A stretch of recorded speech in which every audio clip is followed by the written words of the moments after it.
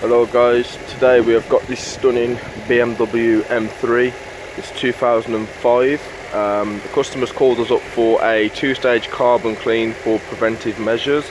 Um, a mate of his had this um, carbon cleaning service, uh, not by myself, by somebody else. He'd heard about the service, um, was very interested, spends a lot of money on, on the car, he's had a lot of modifications including there's a K&N air filter there, um, there's a Milltek exhaust on it, the um, interior's been changed um, for blue leather and all sorts, um, so there's been a lot of money spent on this car. Um, so we've come out today, we've done a diagnostics anyway, as we do.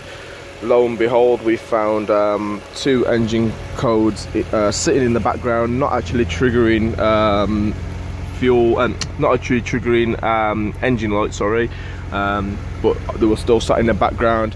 One is an exhaust gas temperature sensor and the other is um, the other is a throttle electronic throttle fault or something along those lines. Um, I don't know if you can hear it on the video but the um, the revs are slightly fluctuating a little bit. It's nothing too major.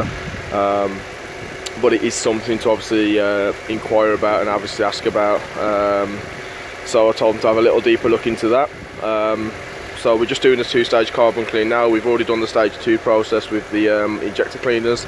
Um, so we're just going to run this one for about 35, 45 minutes, um, and then uh, I'll hopefully have enough time in a little while to do a test drive and hopefully get a, a reaction video. But um, we'll see.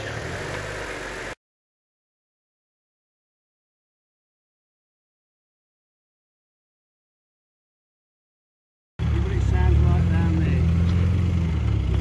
70 years old and an M3, man. What a guy. Have fun.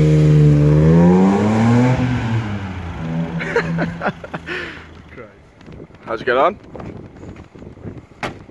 It's more responsive, I must say. Yeah. Oh yeah. Nice. Yeah. Could you hear it all right? Yeah, I could hear you from three, five streets away, to be honest. it's a lovely car, man. Great.